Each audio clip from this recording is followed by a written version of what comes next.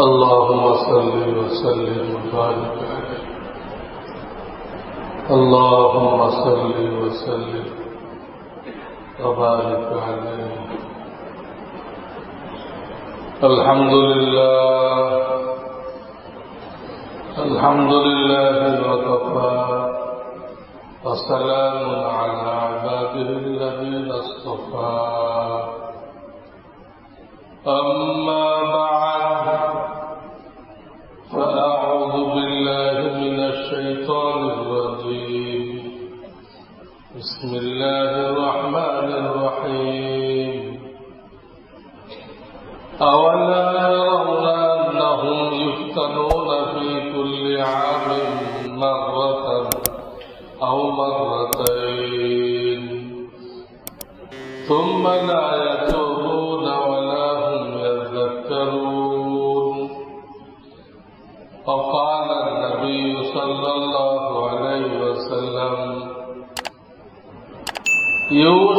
أن تداعى عليكم الأمم كما يدعى إلى القصعة. قيل يا رسول الله من قلة؟ قال لا.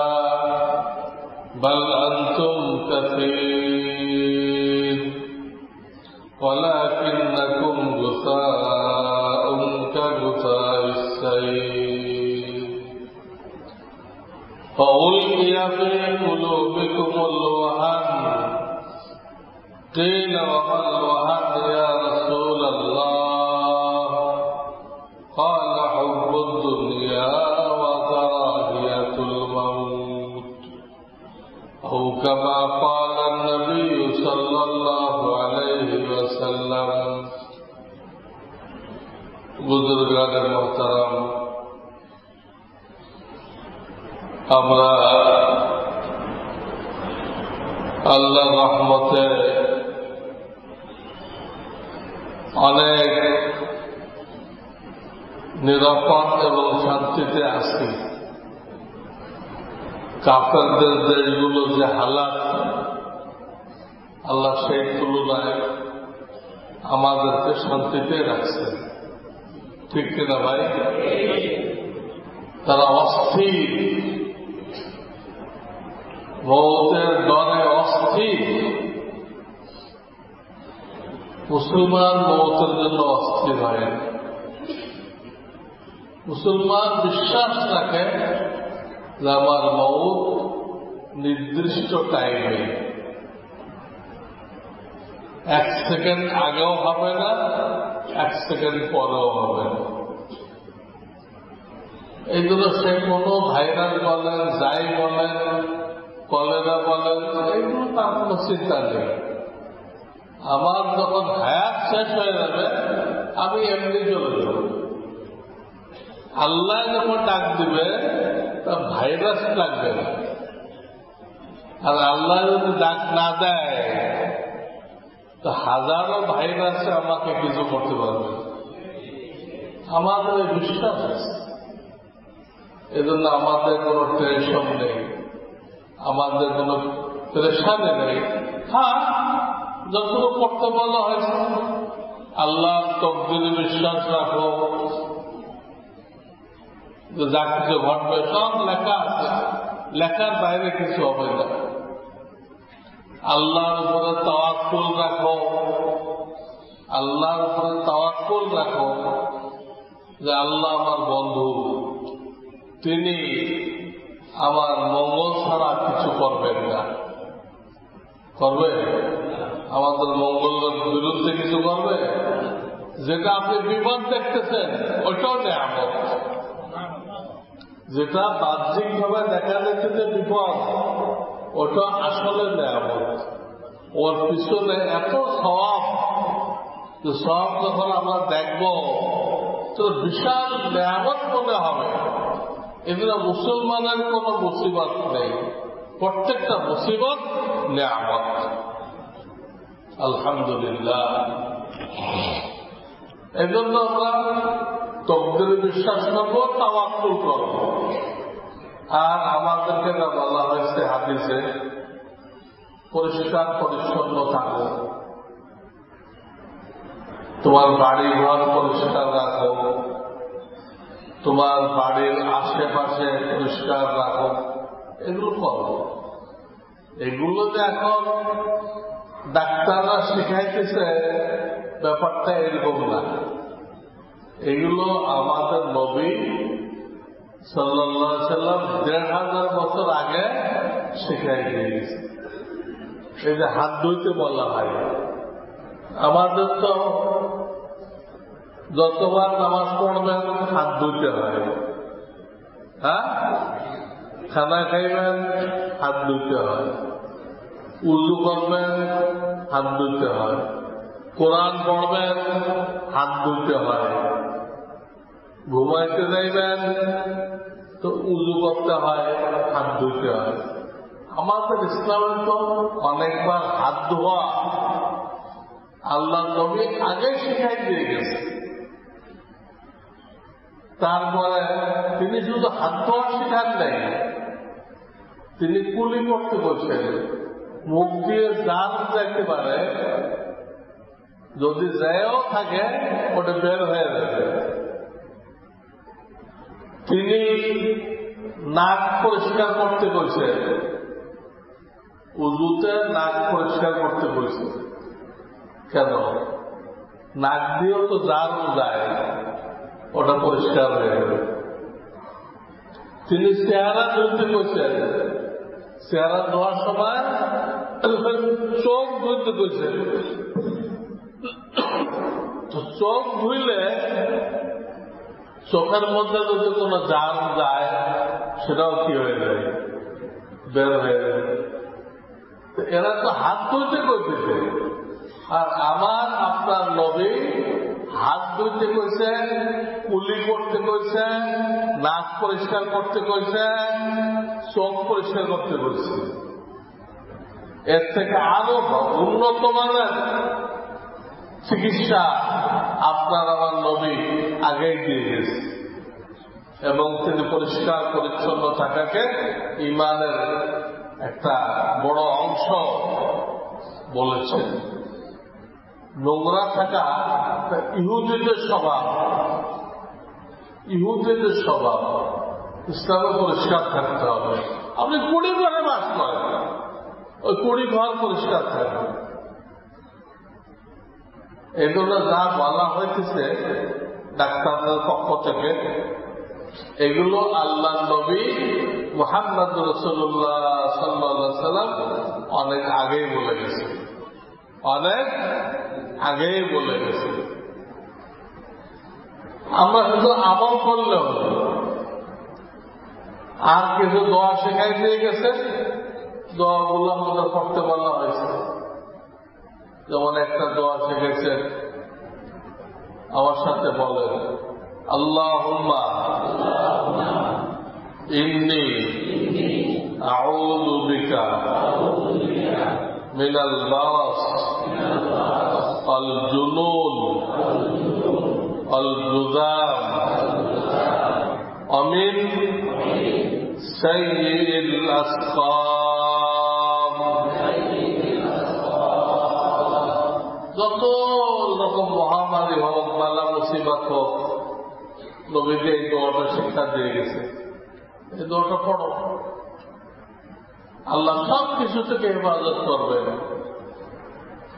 সব কিছু থেকে বালা মুসিবত থেকে হেফাজত করবেন এটা আমরা ওলামায় কেরাম থেকে লিখে নেই। এবং পড়ি। আর একটা আমি বলে থাকি, তা সকাল সন্ধ্যায় তিনবার পড়লে আকস্মিক কোন বালা মুসিবত থেকে আল্লাহ তাকে হেফাজত করেন। আকস্মিক কোন বালা মুসিবত তার আসবে আল্লাহ এটা হলো এই বিসমিল্লাহ لا يضر مع اسمه شيء في الأرض ولا في السماء এই দোয়াটা بسم الله الذي لا يضر مع اسمه شيء في الأرض ولا في السماء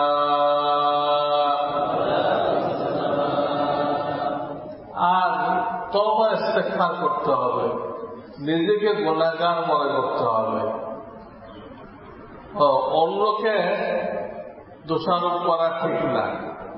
শরিয়াতের তালিম হলো, তোমার দোষের দিক দেখো, অন্যের গুণের দিকে দেখো। তোমার দোষ দেখো, অন্যের গুণ দেখো। দোষ থাকলেও চোখ ফেরাই নাও। একটা দূরে দোষ থাকতে পারে। আমার তো কত হাজার দোষ আছে। তার একটা দূরে থাকতে পারে। আমার দোষ তো অগণিত। অন্য ভাইয়ের কোন দেখো আর তোমার দল দেখো। জন্য নিজেকে অপরাধী মনে করতে হবে। মনে করে হাজার ইউনুস যে দোয়া করছিলেন এই দোয়াটা করতে হবে। লা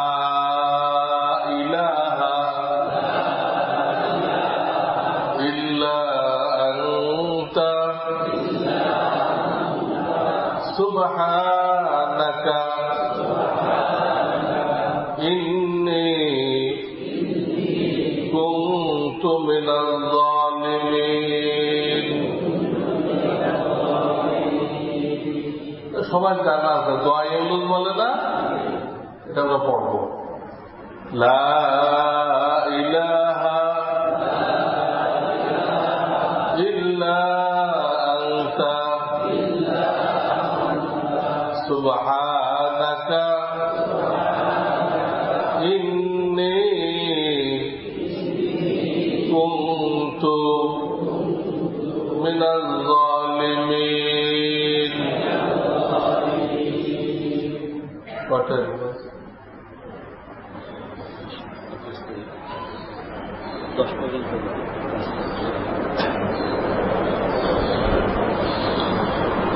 আমি একটা হাদিস পড়েছিলাম, তর্জমা করা যাবে, ব্যাখ্যা অন্য সময় করতে হবে। এই হাদিসের তর্জমা এই নবীজি সাল্লা সাল্লাম ভবিষ্যৎবাণী করেছেন, আমাদেরকে সাবধান করেছেন। যে একটা জামানা আসতেছে, দুনিয়ার সমস্ত কাফেররা এক হয়ে যাবে। তারা তোমাদেরকে খতম করার জন্য একজন আর একজনকে দাওয়াত দিবে। কীরকম? যেমন নাকি দস্তরখানের দিকে মেহমানদেরকে ডাকা হয়। দস্তরখানের দিকে মেহমানদেরকে আহ্বান করা হয়।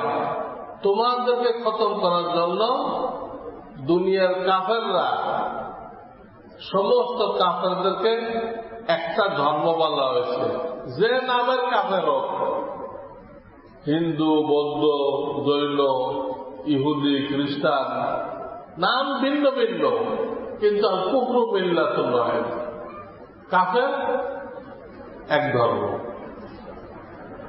এই যে আমাদেরকে ধ্বংস করার জন্য কাফেররা এক হবে এই হাদিস শুনে সাহাবাই কেরম প্রশ্ন করলেন, মিন কিল্লা হুজুর, ওই সময় কি আমাদের সংখ্যা খুব কম হয়ে যাবে? কি? নবীন না। সংখ্যা তোমাদের কম হবে না।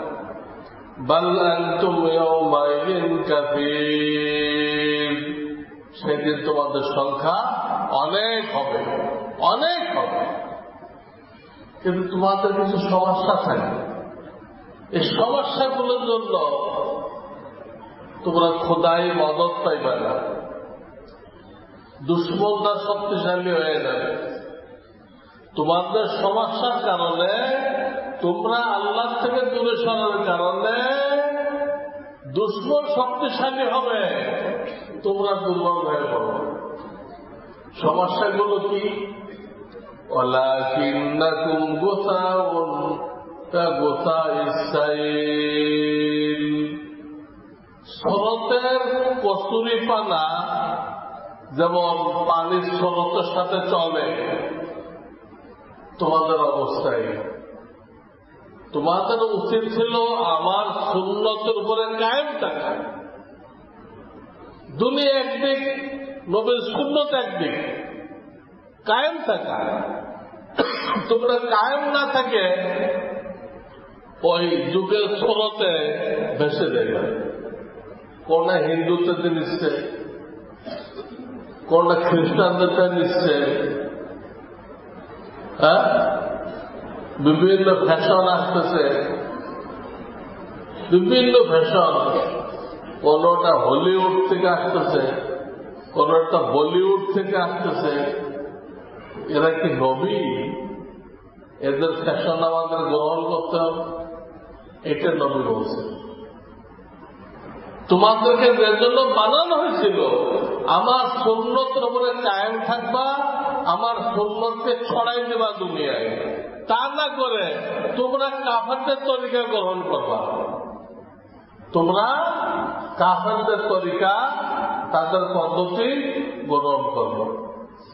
আজকে তাই হয়েছে নামাজে কি সুন্নত আছে? আমরা কি নামাজের প্রশিক্ষণ নিছি হাত এইভাবে তুলতে হবে। প্রশিক্ষণ নিচ্ছি নেই নেই। হাত সরাসরি মানতে হবে। আমরা ঝুলাই দিয়ে বাঁধতে পাওয়া এইভাবে কেবলার দিক থাকতে হবে, পুরা কেবলার দিকে। আমাদের থাকে আমাদের দুই দিক থাকে। সুন্দর। উজুতে সুন্নত নেই।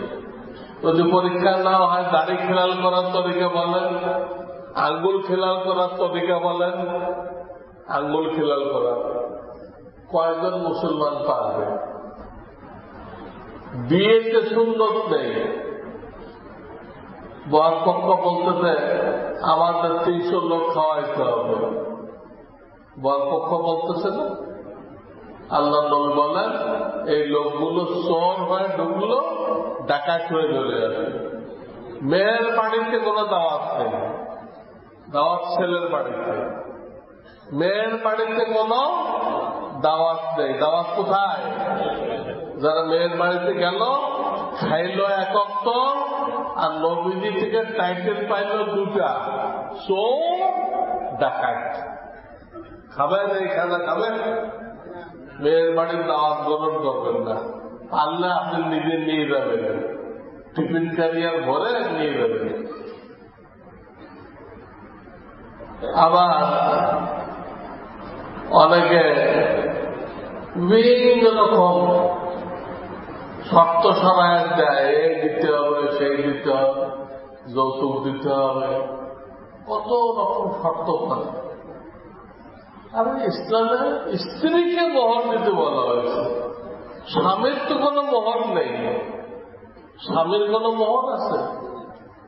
আজকাল লোকেরা দিনের তালিম না থাকার দরুন স্বামীরা মোহর চাইছে উল্টা হয়ে তো বিয়ে তো কি নেই? সুন্দর জিন্দগি শেষ পর্ব কাফন দাফন ওখানেও সুন্দর নেই। শর্ট টাইমে দাফন করতে হয়। দেরি করার দিকে আমরা দেরি করতেছি। লাশ এক জেলার থেকে আরেক জেলায় দিচ্ছি এক দেশের থেকে আরেক দেশে দিচ্ছি সুন্নত করি। সুন্নত তো তাড়াতাড়ি দাফন করো। তারপরে মাইয়েরকে ডাইন কাছে শোয়াইতে হয়। ওই ডাইন কাজ করি। এখন কবরে মাইয়েরকে ডাইন কাছে কোথায় শোয়ানো হয়েছে? প্রায় জায়গায় শীত করে শোয়ায় ঘাটটা মুসরাই দেওয়া হয়েছে শীত করে শোয়ায় ঘাটটা মুসরাই দেওয়া হয়েছে এইটা কি নবীজি শিখাইছে? এইটা তিনি বলছেন তোমরা আমার সুন্নতের উপরে কায়েম থাকবে আল্লাহ কিন্নাকুম গুসা উনকা ইসাই আর দুটা বললেন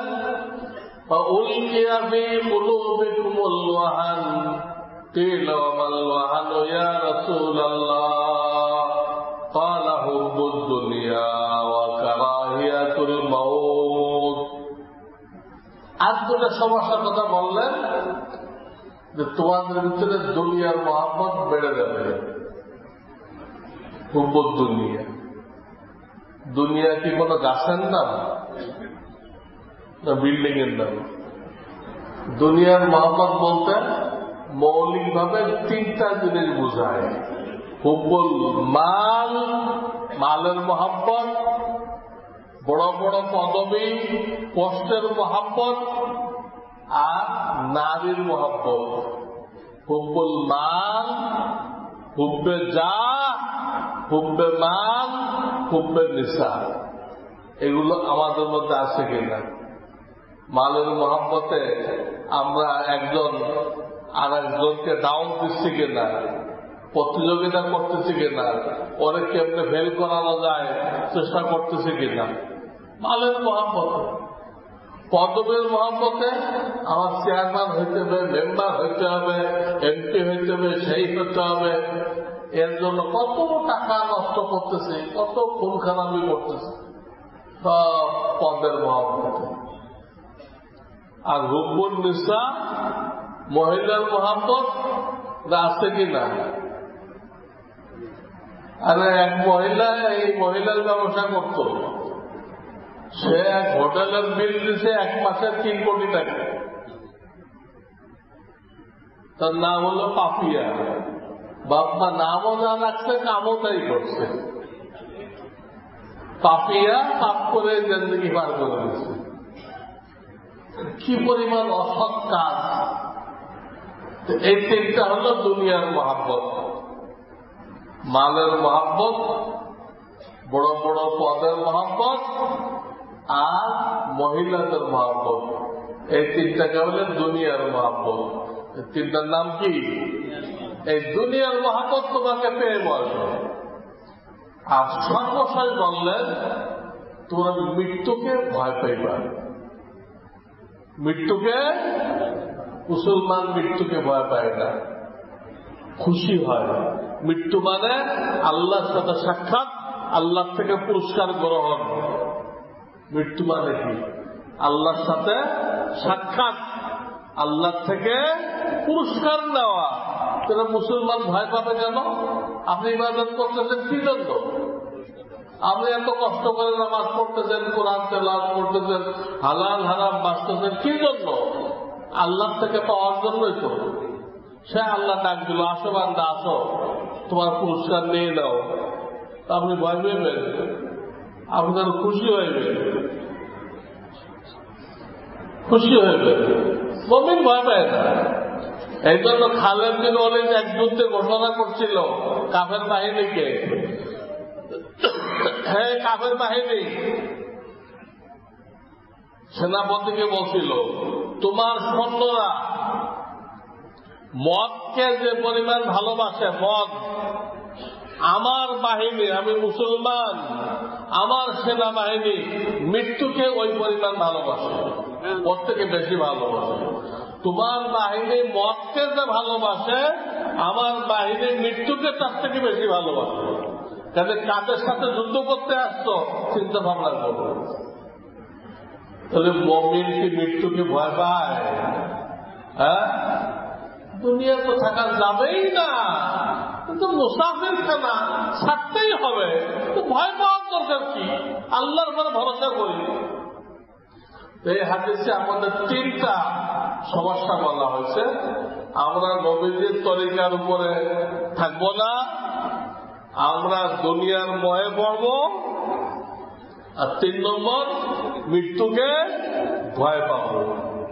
ভয় পাইতেছে না কেউ মারা গেলে আজকাল তার কাপড় দাপনের লোক পাওয়া যাইতেছে না কাপড় দাপনে লোক পাওয়া যাইতেছে আমার দেওয়ার এই রোগ হয় কি পরিমাণ ভয় পায়, একটা ফরজ করবে ভয়তে পারতেছে হাসপাতালে একটা রুগী গেলে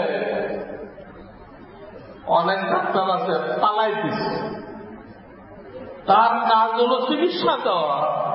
সে চিকিৎসা না দিয়ে পালাইতেছে আমি যদি বলে দেয় ওরা চিকিৎসা দিতে দেয় আমি বলে দেয় আরে তোর হ্যাঁ থাকলে তুমি মরবা। এটা কি ইমান? হায়াত থাকতে কেউ বলে, ইসলামের কোন অকাল মৃত্যু আছে? তুমি কেন বানাইতেছ? কেন হাসপাতালগুলো বন্ধ?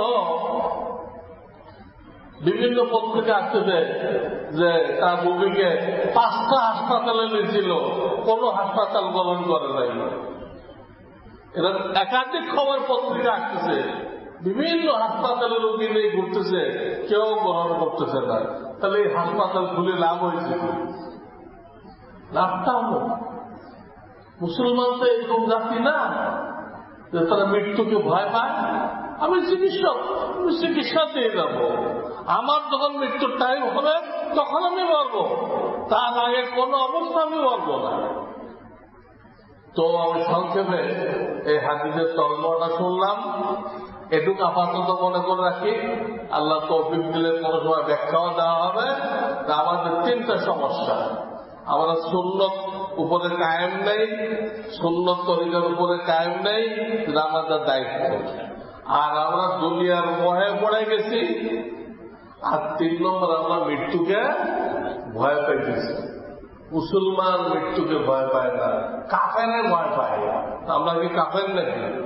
আমরা ভয় পাইতেছি কেন? আল্লাহ তালা আমাদেরকে এই কথাগুলো আমল করার তৌফিক দান করেন। আওয়ানা أن الحمد لله رب العالمين.